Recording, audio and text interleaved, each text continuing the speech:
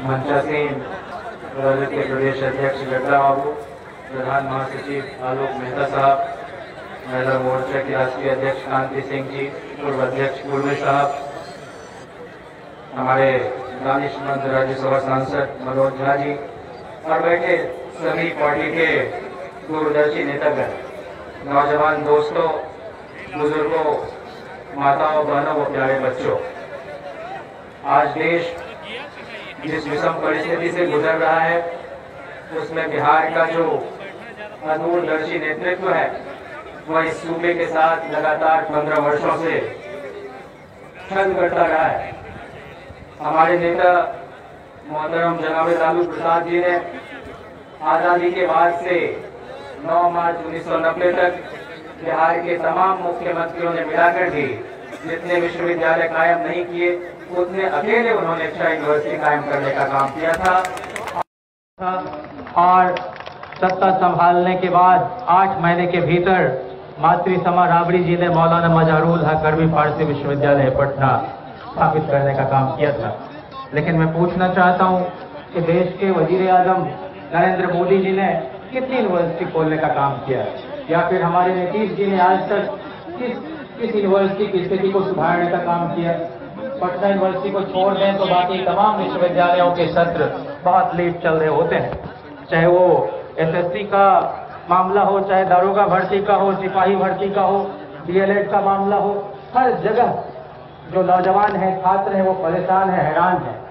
और जब आप देखेंगे बेरोजगारी दर तो देश के अंदर इसके पहले कभी इस तरह से नहीं हुआ था।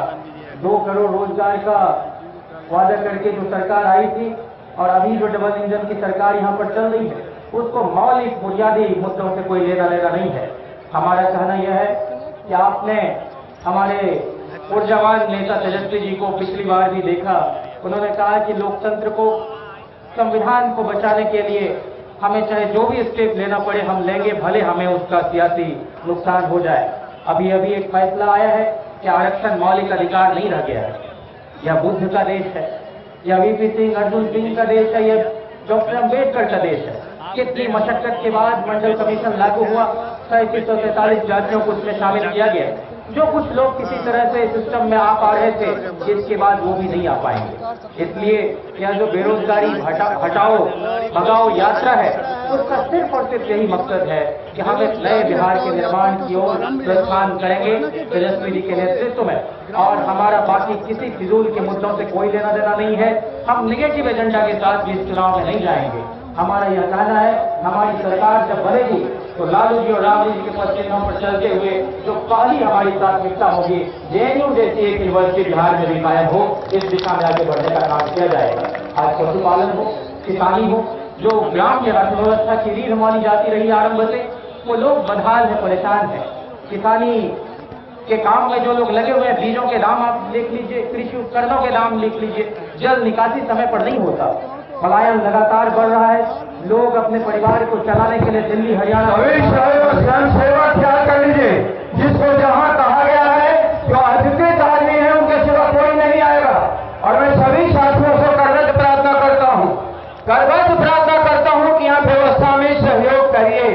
जो व्यवस्था को बिगाड़ेगा, कहीं न कहीं वो राष्ट्रीय जनता दल के सम्मान के खिलाफ काम कर रहा है। जिसको जहाँ बैठने का स्थान नियत है, कृपया करके बैठे और स्वयंसेवक लोग जहाँ आप हम मुस्तैदी से काम करो बहुत बहुत धन्यवाद। साथियों मैं अपनी बात खत्म करूँ इसके साथ ही आज हर हर सेक्टर में लोग परेशान हैं और एक शेर है कि न पढ़ते तो खाते सौ तरह कमाकर मारे गए हाय तालीम पाकर, न खेतों में रेहट चलाने के काबिल, न बाज़ार में माल ढोने के काबिल।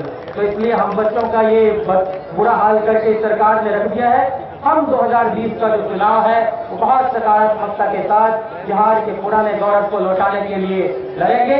और जो सांगठनिक चुनाव में भी आपने देखा है कि अति पिछड़ों को आरक्षण, दलितों, आदिवासियों को आरक्षण दिया गया है, वह निश्चित रूप से बाकी दलों को भी बाध्य करेगा कि लोकतंत्र की जड़ों को मज़बूत करने के लिए समाज के अंतिम पायदान के लोगों को भी सिस्टम में जगह मिले।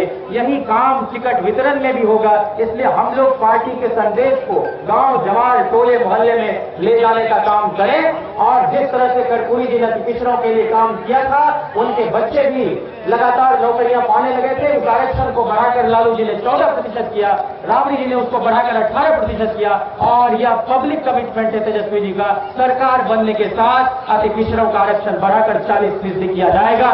इसलिए इस बात को जगह जगह पहुँचाया जाए और हमारी सिर्फ़ और सिर्फ़ एक ही प्रतिबद्धता है कि हम समाज के हर वर्ग के लोगों को लेकर चले। जहाँ जगन्नाथ मिश्रा का डेवलपमेंट का मॉडल था, कुछ खास लोगों का विकास, वही लालू प्रसाद के डेवलपमेंट का मॉडल था। Development for all development of all जहाँ किराए मुसारों भोलाराम तूफानियों, इस तरह के लोग भी समाज के अंदर परिवर्तन की बयार को बढ़ाने का काम कर सके।